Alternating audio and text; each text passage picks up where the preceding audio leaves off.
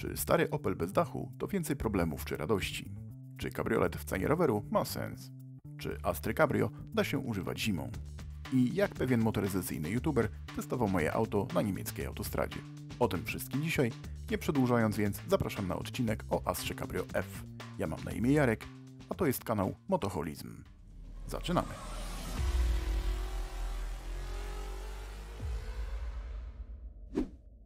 Witajcie w miejscu dla uzależnionych od motoryzacji, w którym interesujemy się wszystkim co jeździ i daje frajdę z prowadzenia, niezależnie od tego ile ma kół, lat, jak szybko się porusza, czy ile jest warte. A dzisiaj wsiadamy do starego Opla bez dachu i sprawdzamy ile frajdy daje taka pełnoletnia zabawka. A na początek krótki powrót do przeszłości. Historia nie tylko kabrioletów Opla, ale w ogóle samochodów tego niemieckiego producenta zaczęła się od pojazdu bez dachu właśnie. Nic w tym dziwnego, ponieważ na początku wszyscy producenci zaczynali od tworzenia samojezdnych maszyn, które wyglądały jak powozy konne, z których uciekły konie. Na zdjęciu znajduje się właśnie ów pierwszy Opel Patomotto. Opel Paten... Paten Moten... Nie, ja tego nie przeczytam. Pomocy. Opel Patent Motorwagen System Lutzmann. O, właśnie taki samochód jest na zdjęciu.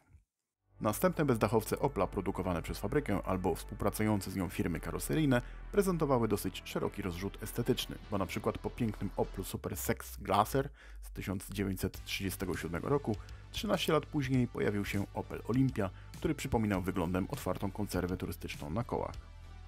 Chyba najlepiej wyglądającym kabrioletem w historii marki był Rekord A z 1964 roku, przerabiany w firmie Karla Deutscha. Domyślam się, że podoba mi się tak bardzo, bo przypomina pomniejszoną wersję amerykańskiego Chevroleta Impala z tego samego roku. Bezpośrednim poprzednikiem Astry w wersji bez dachu był Kadett E, produkowany w latach 1987-91. Był on w okresie swojej świetności bardzo wdzięcznym obiektem przeróbek firm tuningowych, a dzisiaj stał się już poszukiwanym klasykiem. I tak dochodzimy do Astry F, którą od 1993 roku można było kupić w wersji z miękkim dachem. Stylizacją nadwozia zajęło się słynne włoskie studio kreślarskie Bertone, co miało pomóc w przemianie popularnego i raczej nudnego z wyglądu kompaktowego auta w coś bardziej budzącego emocje. Silniki, które napędzały te emocje, miały od 75 do 115 koni w przypadku wersji 2.0. Cała mechanika, wnętrze i duża część nadwozia była znaną z innych wersji Astry konstrukcją, co ułatwiało serwis i obniżało koszty. Astra F w otwartej wersji przetrwała do 1999 roku, po czym zastąpiła ją kolejna generacja tego popularnego kompaktu. Proponuję przyjrzeć się teraz bliżej temu, co wyszło z tego niemiecko-włoskiego romansu, a zaczniemy jak zwykle od zewnątrz. Astra F to na naszych drogach tak częsty widok, że nikt nie pomyli jej z innym samochodem. Nawet w wersji cabrio. Mniej więcej do połowy długości, patrząc od przodu, auto nie różni się niczym szczególnym w porównaniu do swoich mniej wyjątkowych sióstr. Ale już od drzwi, które są pozbawione ramek i przywodzą na myśl kalibrę, pod tył samochodu widać więcej różnic między zwykłymi wersjami a dziełem włoskich stylistów. Astra Cabrio może się podobać, chociaż rozumiem tych, którzy narzekają na niezbyt zgrabny garb tworzony przez złożony dach. Uwydatniony dodatkowo przez zakładany na niego pokrowiec. Za to w porównaniu z kadetem E w polu widzenia nie znajdziemy już pałąka przeciwkapotażowego. W pełni uzbrojona Astra w wersji ze złożonym dachem może być jeszcze wyposażona w zakładany za przednimi fotelami windshot, który zatrzymuje powstające zawirowania powietrza, co bardzo dobrze wpływa na jazdę z większymi niż miejskie prędkościami. Silnik, jaki pracuje pod maską mojej Astry to 16-zaworowy 1.8 o mocy 115 koni. Jest to przedostatni pod względem pojemności motor w tym modelu Astry. Mocy wystarcza do spokojnej jazdy, a czasem również do bardzo niespokojnej, ale o tym na końcu. Spalanie waha się w granicach 8-10 litrów na 100 km. Auto posiada instalację gazową, co jest dosyć niespotykane w takich typowo weekendowych pojazdach, ale później wyjaśnię, dlaczego tu się akurat znalazła. Silnik pobiera od 10 do 12 litrów gazu na każdą setkę. Zaraz po zakupie wymieniłem olej, filtry i kompletny rozrząd, którego zaniedbanie w 16-zaworowych Oplach z tych czasów kończy się bardzo niszczącym finałem. Poza tym zestawem startowym silnik nie wymagał innych prac. Zawieszenie jest lekko utwardzone w stosunku do standardowych wersji, ale nie jest to przesadnie odczuwalne i komfort specjalnie na tym nie cierpi. Jestem zdecydowanym zwolennikiem zakładania do Astry większych niż fabryczne felg i szerszych opon. Te seryjne giną w nadkolach i nie wygląda to zbyt dobrze. Skrzynia biegów tradycyjnie dla Opli z lat 90. jest jak wystrugana z drewna i przy heblowaniu, yy, to znaczy przy zmianie przełożeń, potrafi sobie przyhaczyć tu i ówdzie. Środek Astry Cabrio jest identyczny z tymi w bardziej masowych wersjach i chociaż można tu czasem spotkać skórzaną tapicerkę, to już wygląd deski rozdzielczej, pękatej skrywającej poduszkę powietrzną kierownicy czy wszystkich instrumentów sterowania jest znany na pamięć każdemu, kto choć raz zetknął się z tym popularnym Oplem. Ma to swoje wady i zalety. Z jednej strony nie jest zbyt nowatorskie ani wyjątkowe, z drugiej można przebierać w częściach, kiedy coś się zniszczy albo zepsuje. Moja Astra jest dosyć bogato wyposażona jak na swój wiek, dach otwiera się elektrycznie, wszystkie szyby również, prądem regulowane są lusterka, a zamek centralny dba o zamknięcie zarówno drzwi, jak i bagażnika. A propos tego ostatniego, jak na cabrio jest wyjątkowo przestronny. Spokojnie pomieści bagaż dla dwóch lub trzech osób, nawet na tygodniowy wyjazd. Egzemplarz, który posiadam, ma niestety charakterystyczną wadę Aster i Vector z tamtego okresu, a mianowicie zapadnięte oparcie fotela kierowcy. Niby fajnie, bo odchylone jednostronnie do tyłu podparcie pleców wymusza pozycję boczną ustaloną, która może sprawiać wrażenie, że kierowca prowadzi wóz wyluzowany. Co dobrze pasuje do takiego weekendowego samochodu, ale po paru setkach kilometrów ból pleców zabije każdy luz, nawet ten dobrze udawany. Serwisowanie Astry F jest bardzo przyjemnym zajęciem. Dla tych, którzy lubią i potrafią zrobić coś samemu, to auto jest bardzo wdzięczne do naprawy. Ceny nowych części zamiennych są na relaksująco niskim poziomie. Używanych jest z każdym rokiem coraz mniej, ale ciągle jeszcze da się dostać praktycznie wszystko. Tradycyjnie dla Opla trzeba zwrócić uwagę na rdzę. Krytycznie ważne jest to w wersji Cabrio, której progi i podłoga będące elementami nośnymi po prostu muszą być w dobrym stanie. Nie ma tu przecież dachu, który normalnie usztywnia dodatkowo karoserię. O mojej walce z rdzą za chwilę, ale przedtem kilka słów o najbardziej kosztownym elemencie Astry Cabrio, czyli dachu. Jeśli jest zniszczony, podarty albo podziurawiony, to jego wymiana może dogonić w kosztach wartość samochodu. Wszystko da się oczywiście naprawić, na rynku wtórnym zdarza się znaleźć jakieś dachy z demontażu w dobrej cenie, no i polskie firmy tapicerskie bez problemu radzą sobie z ich renowacją. Ale jeśli to ma być tania zabawka na słoneczne dni, to przede wszystkim trzeba poszukać egzemplarza, w którym nie leje się na głowę. W przypadku wersji z elektrycznym sterowaniem dochodzą jeszcze problemy natury elektrycznej i hydraulicznej, z którymi niestety i ja się zmagam. Pompa z płynem hydraulicznym znajdująca się w bagażniku nie jest szczelna, a naprawiany już dwa razy przycisk sterujący w środku auta nie zawsze styka, co kończy się zatrzymaniem operacji zamykania lub otwierania dachu w połowie. Jestem jednak przekonany, że prędzej czy później sobie z tym poradzę. Poza wspomnianą wymianą pakietu startowego, Astra wymagała jeszcze wymiany stworzeń i zawieszenia. Do sprawnego odpalania i przemieszczania się to mogłoby właściwie wystarczyć. Niestety w kwestiach estetycznych sprawy miały się gorzej. Ktoś pozostawił na klapie bagażnika otwory po zamontowanym tam spoilerze. Tył auta nosił również ślady zatrzymania się na jakimś słupku, na masce silnika pojawiły się też poważne rdzawe wrzery, a ze zderzaków schodził lakier. Najgorsze czekało jednak pod siedzeniem kierowcy. Podłoga w tamtym miejscu była pęknięta. Nie licząc powierzenia spawania uszkodzonego miejsca doświadczonemu koledze, resztą problemów postanowiłem zająć się sam. Z perspektywy czasu, jaki zainwestowałem w te naprawy, widzę, że niektóre trzeba było od razu powierzyć profesjonalistom, ale chęć podłubania przy aucie wygrała. Kilka tygodni z przerwami zajęło mi zdzieranie rdzy, wyrównywanie powierzchni, nakładanie szpachli, podkładowanie i lakierowanie większości elementów w aucie. Przyniosło to zarówno efekty, z których jestem zadowolony, jak i te, o których chciałbym jak najszybciej zapomnieć. Bardzo ładnie wyszły zderzaki, mimo że miały ubytki i były miejscami popękane. Natomiast zachęcony sukcesem postanowiłem polakierować również maskę i klapę bagażnika, co niemal do ostatniej warstwy szło świetnie. Już widziałem siebie polerującego na lustro nowy lakier i wtedy, minutę po nałożeniu ostatniej warstwy, stało się to. Katastrofa. Gdybym chciał uszyć do tego auta skórzaną tapicerkę, to pewnie chciałbym, żeby była marszczona na boczkach drzwi.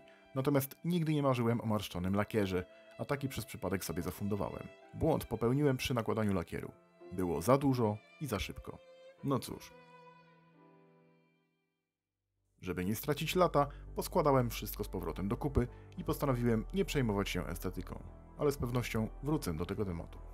A propos większych kół, których wygląd podoba mi się zdecydowanie bardziej niż standardowych, zafundowałem Astrze alufelgi w rozmiarze 7,5 x 16 i opony 205 x 45. Jeśli macie na tyle dużo lat, że pamiętacie pisma twingowe z początku lat 2000, to może rzuciły Wam się w oczy bardzo popularne wtedy opony Goodyeara Eagle F1.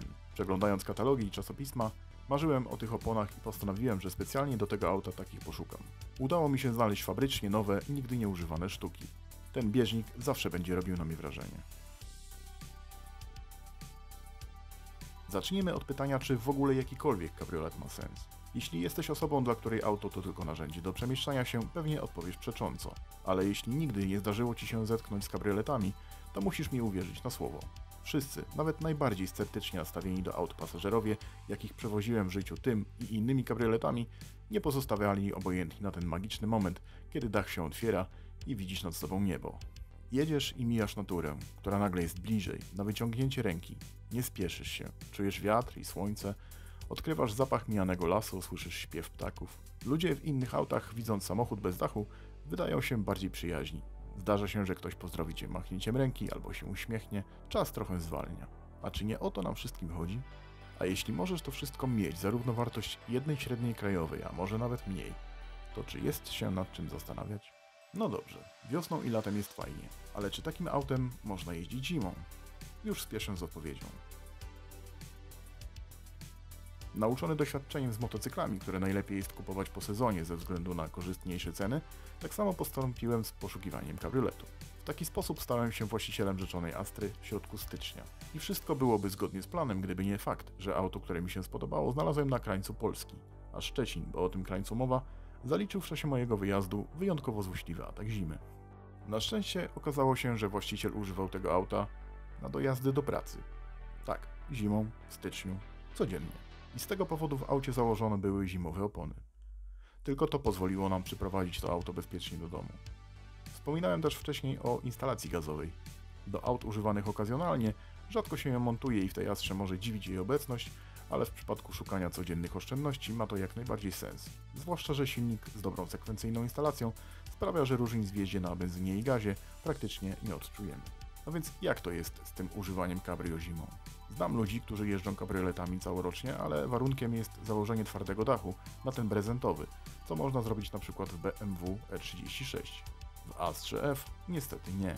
Nie będę kłamał. W przypadku tego auta jazda zimą to nie jest najlepszy pomysł. Prezentowy dach łatwo uszkodzić przy odśnieżaniu. Zalegająca na nim warstwa śniegu po rozgrzaniu wnętrza zaczyna topnieć i przesącza się do środka. Oczywiście dach można zaimpregnować, ale jest to skuteczne tylko do pewnego momentu. Jeśli zacznie on już przeciekać, w aucie pojawia się dużo wilgoci, co nie tylko sprzyja korozji i problemom z elektryką, ale powoduje bardzo intensywne parowanie szyb. Poprzedni właściciel woził kilkanaście woreczków pochłaniających wilgoć, porozkładanych w różnych miejscach, ale to było ciągle za mało. Tym autem da się jeździć nawet w mrozy. Ogrzewanie jest wydajne i na pewno nie zmarzniemy w środku, wentylacja w końcu zrobi swoje i szyby będą przejrzyste, a zimowe opony utrzymają nas na drodze.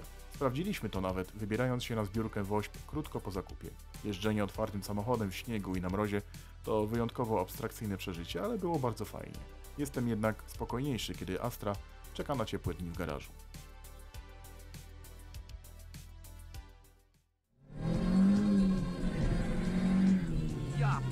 Pierdzielę! A na koniec opowiem Wam o internetowym występie mojego Opla.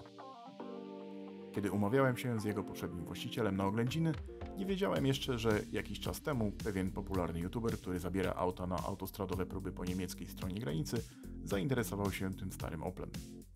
Nagranie, na którym Astra daje z siebie wszystko, skojarzyłem dopiero w drodze do Szczecina, a obejrzałem uważnie po powrocie. Usiadłem sobie przed komputerem z uśmiechem na twarzy, włączyłem filmik i zacząłem oglądać. Cieszyłem się jak dziecko, że mogę zobaczyć moje nowe auto w roli głównej. Najpierw była dokładna prezentacja, potem wyjazd na autostradę i wreszcie próba szybkości. Byłem pod wrażeniem, jak daleko zawędrowała wskazówka prędkościomierza. Pokazywała prawie 200 km na godzinę. I właśnie wtedy Damy sobie nawet czwóreczkę. popcorn wysypał mi się z ręki. Redukcja? Przy 180? No i nie podobasz mi się. Na szczęście rozrząd i silnik przetrwały ten test, ale na wszelki wypadek po tym co zobaczyłem, szybko wymieniłem stare nadwyrężone części na nowe. Mimo wszystko cieszę się, że Petrolhead postanowił pokazać tą Astrę. Po liczniku odsłon pod filmem widać, że przyciągnęła ona widownię nie mniejszą niż dużo bardziej luksusowe, sportowe i droższe auta. Ale od teraz będzie jeździć już raczej spacerowo i najczęściej z otwartym dachem. Jeśli macie ochotę posłuchać również o innych pojazdach, to rozważcie użycie tego czerwonego przycisku pod filmem. Wtedy na pewno nie przegapicie nowych odcinków. A już w tej chwili możecie sprawdzić jeden z kolejnych filmów, do których przeniesiecie się po kliknięciu w którejś z tych okienek, które pojawiły się właśnie na ekranie. To o czym teraz?